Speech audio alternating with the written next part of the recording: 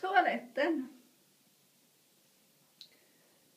Den är special. Eh, den har två till och med specialare. Men även eh, den här är lite svår. Ehm.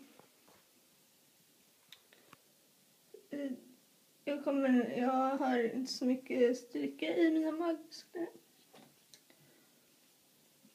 Eh, så det, ni ser att den är lite, ganska mycket förhöjd.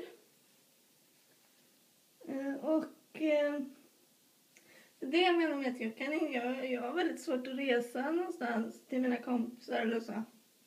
Och det är såklart jag skulle vilja träffa kompisar. Men eh, hur många av er, eller hur många av dem, ska vi inte säga namn här, men de, de, de, de får liksom känna sig skyldiga själva. Jag säger inga namn, det, är- det beror inte på. Skulle ni vilja göra så här? För att höja toan, för att jag skulle ha kunna min på toa. Eh, för att höja soffan.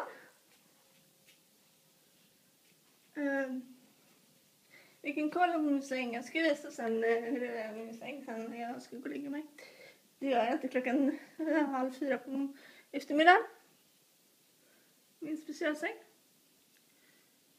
Eh, har väldigt, eh, väldigt nästan omöjligt att sova i någon annan säng förutom den här. Eh, så det här är min eh, vardag. Den är jobbig. Den är... Eh, uh, har en stol här. Massor av bilder på typ Takida och Neverstorm. En av mina snygga killar.